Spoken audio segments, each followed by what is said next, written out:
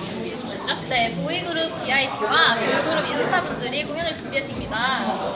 그리고 그 가수분들의 소속 다른 가수분들도 이제 축하 공연을 한다고 하는데요. 네, 인터뷰 소속사 가수분들이 다 오셔서 공연을 한다니까 많이 찾아주세요. 굉장히 기대가 되네요. 11월 17일 수능 콘서트, 수능 힐링 콘서트라고 합니다. 여러분, 우리 고3 여러분, 수험생분들 많이 힘들 내시고요. 강남역에 오셔서 보시면서 힐링하고 가셨으면 좋겠습니다. 많이 와주세요. 11월 17일 목요일 오후 5시 강남역 허브프라자에서 유타TV와 함께 만나요.